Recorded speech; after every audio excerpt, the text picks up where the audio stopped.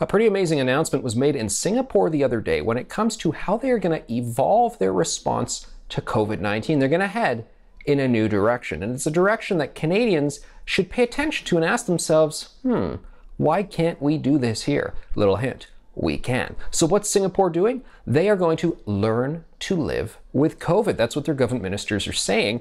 Basically, they say, look, we got to acknowledge that this is an endemic seasonal illness, meaning this thing's not going away. They're saying they're not doing this zero transmission thing anymore, that COVID zero thing that some people really pushed for, which means get to zero cases of this virus, complete elimination eradication. This is not a virus that you do that for, as more and more experts are saying. This is something that's going to be around in some sense for the rest of our natural lives. So, what are you going to do about it? Well, Singapore, like most other countries, has been doing a vaccine rollout, and they say, first of all, you have to embrace the fact that these vaccines have been bringing down hospitalizations and deaths just drastically. So, you know, if there's no progress after vaccines, what was the point of doing the vaccination rollout?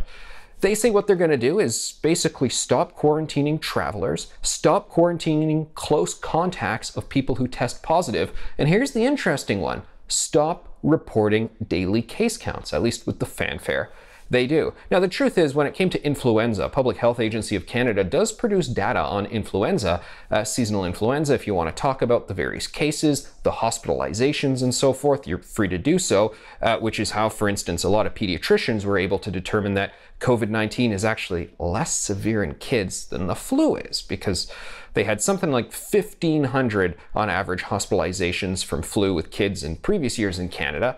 And uh, the COVID hospitalizations are only about 1,300. Although I should note, story, uh, an item that I actually broke a few weeks ago was that only about a third of those COVID hospitalizations were actually for COVID, people suffering uh, from having the symptoms of coronavirus. In fact, many of them were a kid coming in for, say, a broken arm, and then they, they test everyone for COVID who comes in, and they found out, oh, this kid had asymptomatic COVID. We, we didn't know that, zero symptoms, not spreading it to anyone, but uh, anyway, they tally him on the hospitalizations list for COVID. Anyway, I digress, but part of the reason I guess I point all that out is once you stop reporting the daily case counts, I mean, that's a thing that stops, I think, driving a lot of the calls for, oh, okay, maybe now we can reopen. Oh, no, we've got to lock up again, and so forth.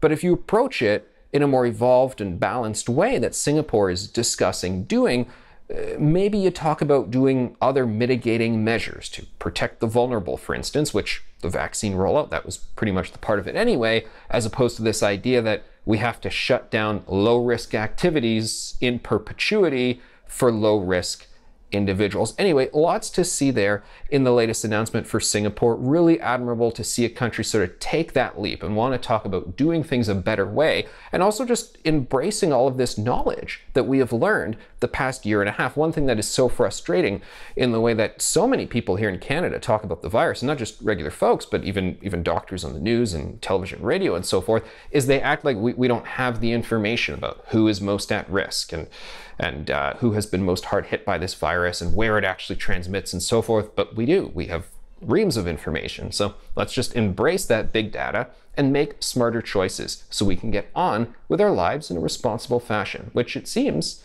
like Singapore plans to do. Good for them.